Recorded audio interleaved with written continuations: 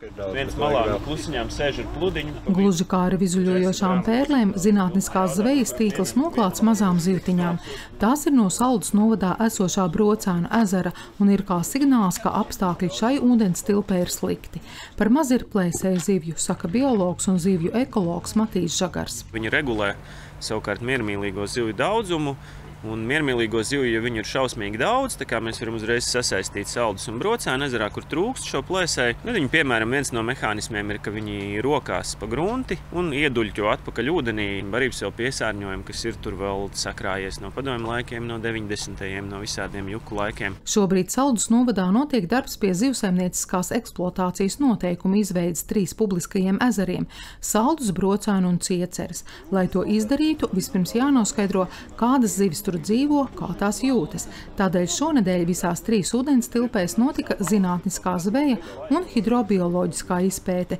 Saldus novadā saka, izstrādājot plānošanas dokumentus pēc jauno novadu izveides, arī aktualizējās jautājums par publiskajiem ezeriem, kā tos pēc iespējas kvalitatīvāk apsaimniekot. Jo tie dati ir ļoti veci, ja arī ir kādi dati veikti pēc ieceras ezeru. Vispār mēs nevarējām atrast informāciju, kad ir veikta tāda noteikuma izstrāde izstrāde. Tāpēc tas mērķis ir saprast, kas ir zivsaimnieciskais resurss tieši. Nu, mūsu jau pirmā interese bija tāda noskaidrot par Saldus ezeru vai mūsu iepriekšējās darbības, respektīvi zandartu ielaišana, ir nesusi kaut kādus uh, rezultātus, un lai to arī zinātniski nofiksētu.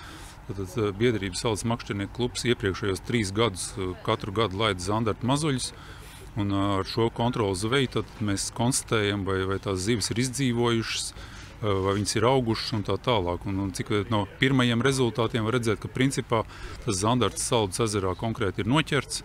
Tā tad varētu īsais secinājums, ka jā, ka šiem mūsu darbībai ir kaut kāds rezultāts. Ir. Seši. Seši. Vispirms no tīkliem izņemtās zivis tiek sagrupētas marķētos spaiņos, tad katra, pat vissīkākā, tiek nomērīta, nosvērta, no katras tiek paņemts zvīņu paraugs, jo tieši tā var noteikt zivs vecumu. Zivs līdzīgi kā koks aug visu mūžu, zvīņa aug kopā ar zivi, un zivs aug lēnāk ziemā, tad veidojās tā tādi blīvi riņķi. Un tos riņķus uz zvīņas saskaitot, Zem mikroskopa mēs varam pateikt, cik zivs ir vecs. Un tas ir svarīgi, tāpēc, ka viņas ļoti, ļoti dažādi aug. Atkarībā no tiem augšanas apstākļiem konkrētajā ezerā viņas ir augt lēnāk vai ātrāk. Un vienkāršākais, kā to saprast, ja es, piemēram, laižu ezerā zandartu, Es gribu saprast, kurā brīdī man no viņa būs, teiksim, kur viņš, kurā brīdī viņš sasniegs, piemēram, 45 cm garumu, kad viņu var paturēt lomā, kas ir svarīgi makšķerniekam. Tad tas, tas ir tiešām, nu, daudzveidība ir milzīga. Tev var būt ezeri, kur tas prasa 4 gadus un varbūt ļoti nu, tādi, teiksim, ezeri, kur dzīves ir lēnaudzīgas dažādu apstākļu dēļ, vai barības trūkums, vai nu, kaut kāds skābeklis nav ziemā, kur tie tikpat labi var būt 6 gadi. Nu, tad ir milzīga atšķirība, vai es, teiksim, ekonomisko labumu no ielaiduma iegūšu pēc četriem gadiem vai pēc sešiem. Mm.